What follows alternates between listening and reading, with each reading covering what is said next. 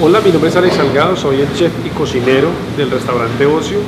Y nada, en esta sección de mito, verdad, les queremos contar un mito que para nosotros es verdad, y es que el calentado de frijoles con arroz es mucho más sabroso cuando se deja trasnochar. Es decir, cuando yo preparo calentado, debo dejar la noche anterior los frijoles mezclados con el arroz para que cojan mucho mejor sabor y al otro día se aprecie bien el sabor del calentado. Entonces es una verdad que se debe dejar toda la noche.